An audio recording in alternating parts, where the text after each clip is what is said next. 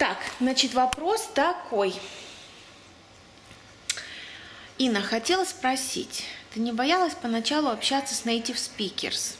Да, то есть те, кто как бы на родном английском говорит. В том плане, что ты не можешь объяснить, что хочешь, или тебя не поймут. Э, не сможешь объяснить то, что хочешь, или тебя не поймут. И все ли ты понимала, когда они говорили? И сейчас ты все понимаешь при разговоре или все-таки иногда приходится догадываться?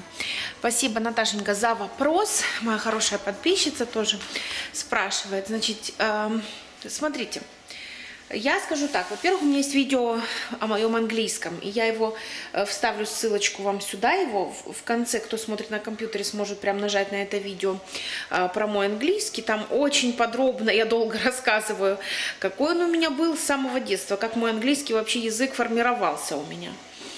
Могу сказать так, что касается в начале, это был просто кошмар. То есть я повторюсь, потому что когда вы посмотрите это видео, вы все поймете, какой у меня английский и как с этим вопросом обстоит дело.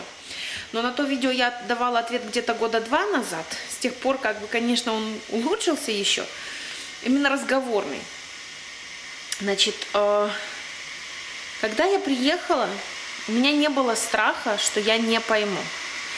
Потому что, ну, естественно, понятно, что я иммигрант, и канадцы стараются, то, что называется native, да, те, которые вот канадцы, канадцы прям, а, они понимают, как бы, что человек приехал, что человек не знает, не, не всегда понимает и так далее. Поэтому они говорят на простом английском, очень как бы, ну, медленно и понятно. Особенно, когда они понимают, что они с новоприбывшим разговаривают. Поэтому у меня не было какого-то страха, и у меня не было ситуации, в которой бы мне что-то сказали, а я чего-то не поняла. Слава Богу.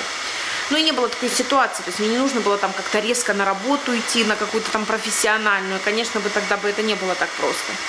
Но на том уровне бытовом, котором мне нужно было снимать квартиру, общаться там в садике, в каких-то инстанциях, там в поликлиниках и так дальше, мне этого вполне хватало. Проблема была в другом.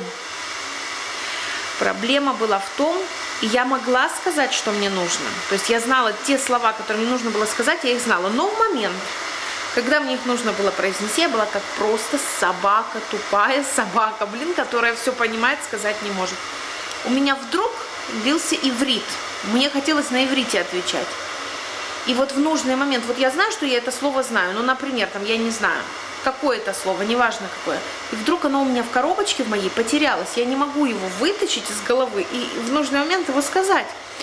То есть у меня фраза в голове, что кажется, вот сейчас я отвечу, то есть я понимаю, что он говорит, мне даже не то, что там он говорит, я в голове перевожу, и мне надо в голове... То есть я хочу сказать, а у меня на иврите.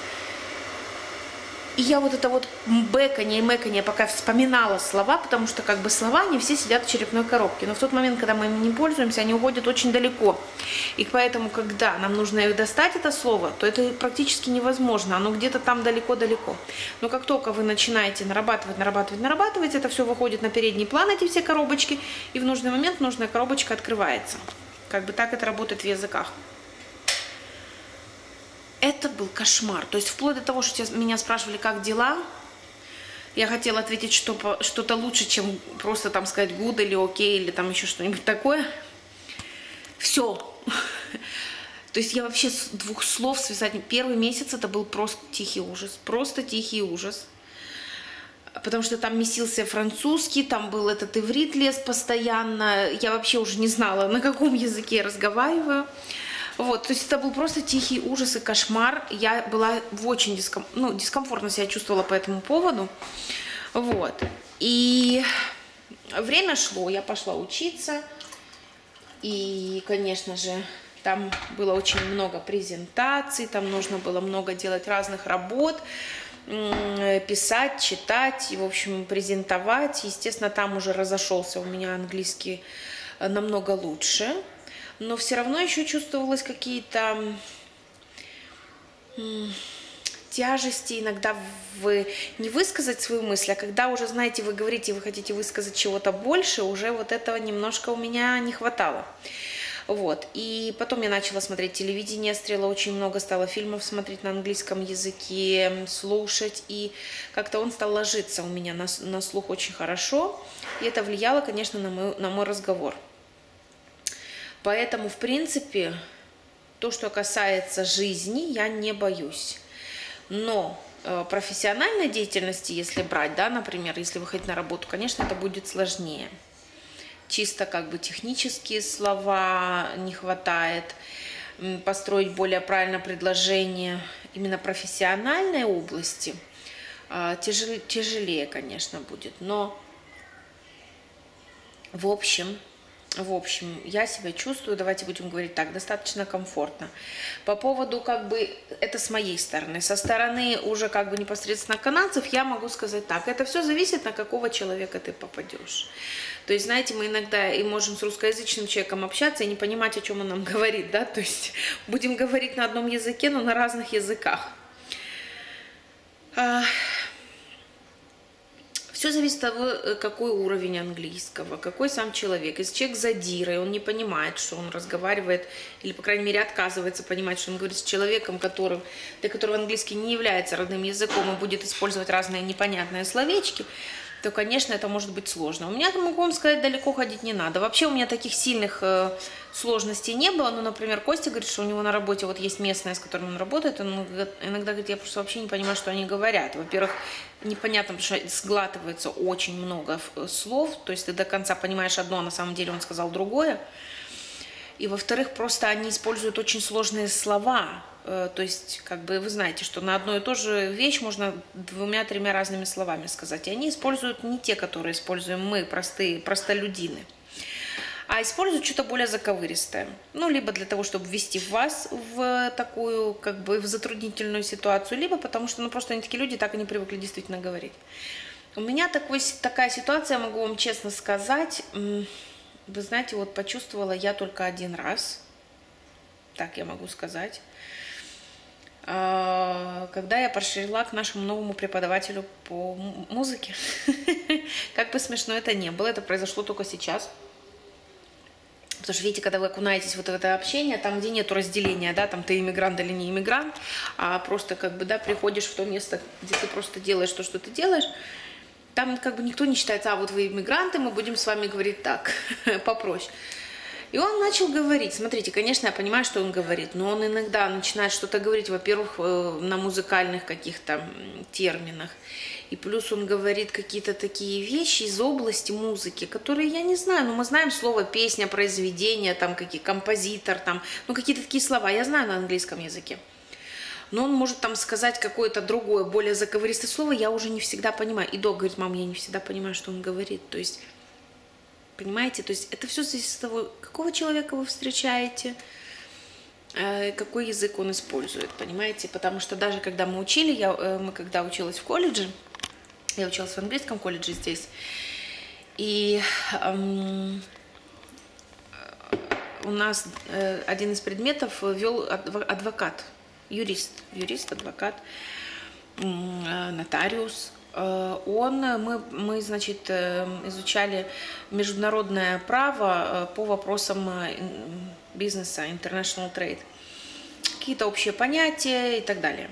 И мне не было сложно слушать этот курс, потому что он преподавался как бы для людей, которые в колледже, которые, понятно, что многие иммигранты, и как бы это все было очень доступно.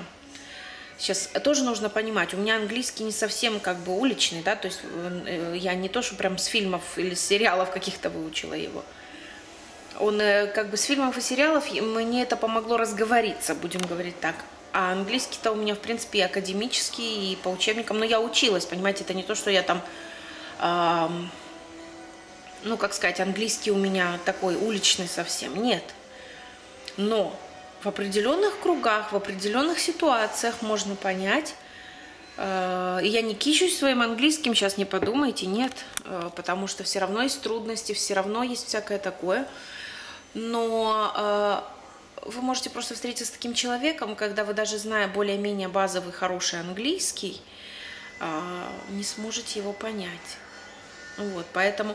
А по поводу того, что нет, я не боюсь, я уже, слава богу, нахожусь эм, в такой фазе сейчас, что я знаю, что я смогу объясниться в принципе в любой ситуации. Или, по крайней мере, если я не буду знать каких-то слов, я смогу как-то подобрать такие слова, что я смогу объяснить там, например, какое-то действие. Например, вот мне пришлось там два месяца назад полазить по больницам.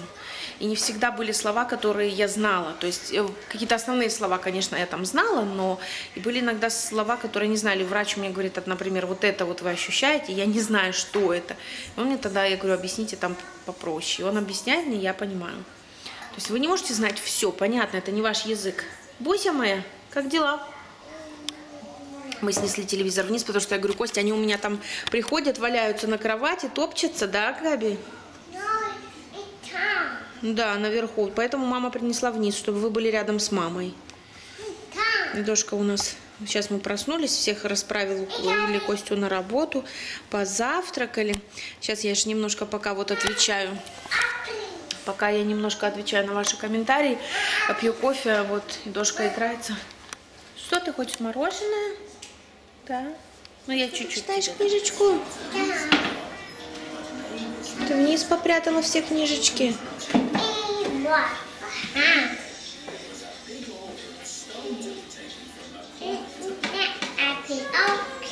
Какой цвет у этого слоника?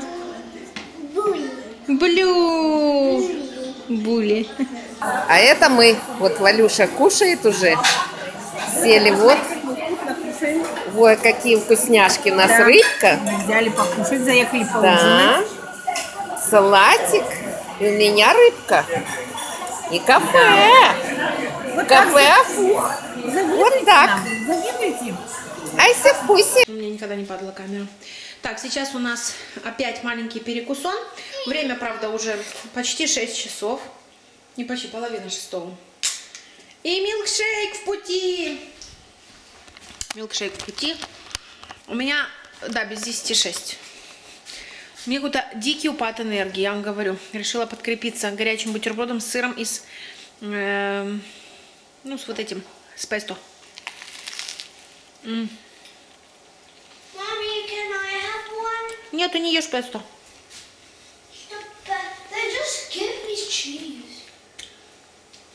Проехали, ты пьешь это. Папа по дороге домой, у нас почему-то опять эта штука звенит, которая Fire Alarm, вот этот Fire Smoke Alarm. Что-то она стала раз в день попискивать, хотя Костя поменял неделю назад батарейку. Почему это происходит, непонятно. Он заехал мне в библиотеку, там еще кое-что забрать в библиотеке, кое-какие книги. И заехать посмотреть батарейку. То есть на самом деле купить набор, потому что они должны быть всегда свежие. Потому что фигня с батарейками такая. Ну, то есть, в основном это все знают. Но на таких предмет вещах, как вот этот Fire Smoke Alarm, они должны быть не просто в сроки батарейки, они должны быть свежие. Потому что если батарейка, скажем, вот у нас батарейки он купил новые два года назад. Батарейку, которую он вставил, написано, что как бы ее срок до 2017 года, но время уже 2017 год наступил. Пожалуйста, она пикает, а пикает она, когда начинает садиться. То есть они должны быть свежие. То есть смотрите, что батарейка еще 2-3 года, или сколько у них там срок жизни, должна еще работать. Потому что если она не работает, ну, вы покупаете ее, а ей, э, там, скажем, до, до, до 2017 года, можете ее уже сразу не брать. Ну, для часов, например, она еще пойдет. Но не для Fire Alarm. Так. Я вчера делала китайское мясо, я сейчас хочу немножко увеличить подливу и загустить ее. Хорошо. Хочешь еще добавку? Нет. Так, в общем, пошла я загущать э, этот, э, как он называется? В степлсе этих э, для, ну, чтобы были на всякий случай. И купил еще память. Дополнительная была по 10 долларов. Вот счет. 22 доллара. Это было по скидке за 10, это было по скидке за 10 вместо 20 рублей. А, то есть было то 20 и то 20? Да. А это из-за того, что была немножко разрытая коробка, так по Ну, я думаю, скидке было? потому что была коробка поцарапана, они были две. Но это до, до- до 21 года вроде бы срок годности у них. Супер, да, я как раз рассказывала Дюрасели про срок недорогие. го- годности. Обычно две И это стоят 10 вместо долларов. 20 10. Обычно 2 стоят 20, Обычно две стоят 10. 2 стоят 10, а тут 4 за 10. Да. Ну, я думаю, что они запечатаны. Ничего не трогать. Просто на всех такие наклейки были. Окей, хорошо, отлично. А, Reclosed был. Reclosed был. У меня mm. Reclosed. Неважно. Их срок годности 5 лет. Они дорогие. Дюрасель дорогие у нас. Будем надеяться, что она уже не будет пикать после этого. То Я так боюсь всегда, думаю, днем как начнет пикать, я не знаю, что там с этим делать. Да, Костя? Да. Ребята, я вам скажу так, время 9.15, я легла сейчас вечером, мы сидели с детьми, я уснула на диване. Время, когда уже надо ложиться спать, я проснулась. Я не понимаю с этим переходом времени, что со мной происходит, с этой погодой, с этой весной. В общем, одним словом, я не знаю. Сейчас все немножко приберу и буду ложиться спать. Вам желаю доброе утро, хорошего дня и сп- спокойной ночи. Костя на меня удивленно смотрит. Пока, до завтра.